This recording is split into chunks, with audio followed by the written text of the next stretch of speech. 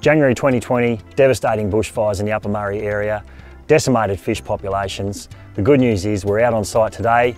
We've found some fish, Murray cod, they're still here. A lot of work to be done and a long way to come back, but we're off to a great start.